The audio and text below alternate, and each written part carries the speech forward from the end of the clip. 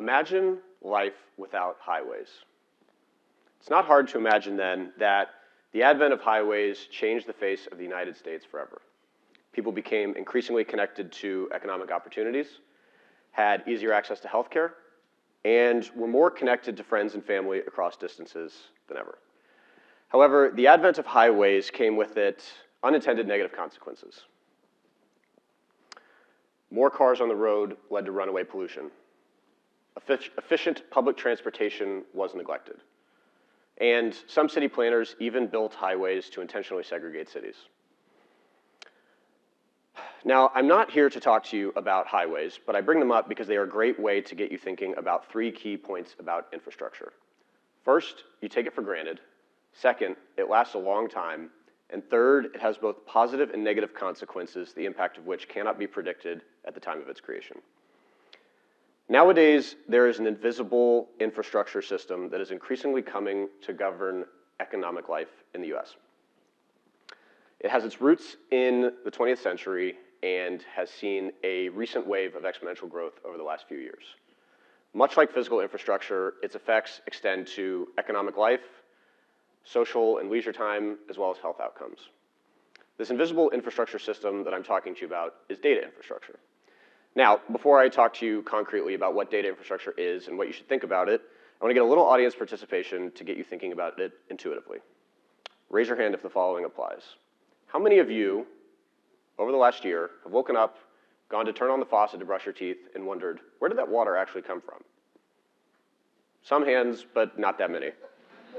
Now, how many of you over the past year have been browsing the internet, seen an oddly specific ad, and thought, where did that come from? How did they know? Lots more hands. Over 2,000 years ago, the Romans built the aqueducts, and now we take running water for granted. Similarly, over the last hundred years, highways have been built, and now we always take for granted that we can get from point A to point B no matter the distance. Much like the unstoppable tide of transportation infrastructure or plumbing, Data infrastructure is increasingly a part of everyday life. The only difference is that it is invisible and you have no idea how or why this is happening. The best you have is wondering about that eerily well-placed ad. So, as promised, what is data infrastructure? Data infrastructure is software, but it is also infrastructure like roads or utilities. It is invisible, which is why you probably haven't thought about it before up until now.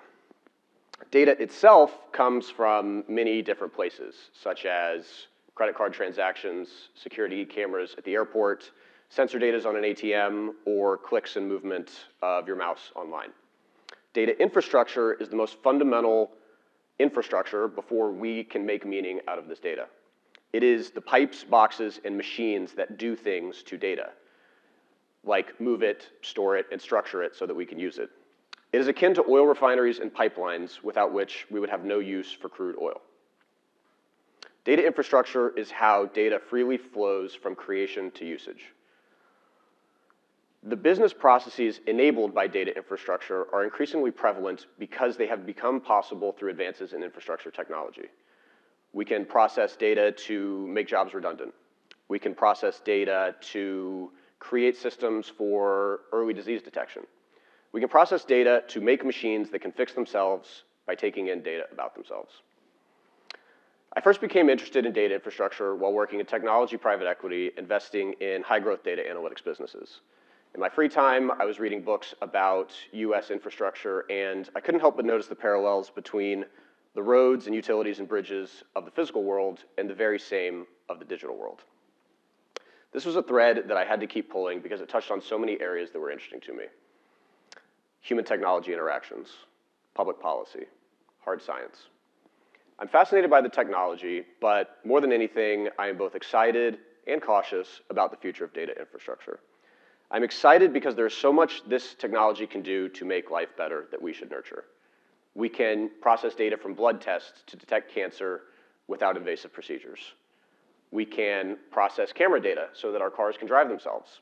We can process sensor data to reduce bias in law enforcement and criminal justice and we can process satellite images to identify poaching hotspots to prevent unwanted extinctions.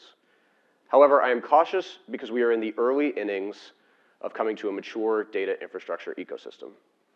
In the future, organizations will continue to implement ready off-the-shelf infrastructure software, like installing a pipe in your home plumbing system.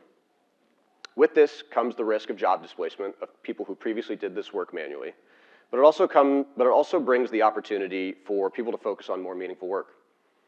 Beyond automation, the business processes that data infrastructure enables are becoming increasingly prevalent because the infrastructure itself is becoming increasingly prevalent. Organizations are becoming increasingly masterful at keeping your eyeballs on their social network or their infinite feed of videos that you scroll for hours before bed. Organizations are becoming increasingly masterful at using recommendation engines to help you open up your wallet and make one additional purchase. In short, organizations are becoming increasingly extractive of people and society because they are able to better collect data, analyze it more efficiently, analyze it faster, and do more with it now than ever. What will the world look like when this technology is truly pervasive?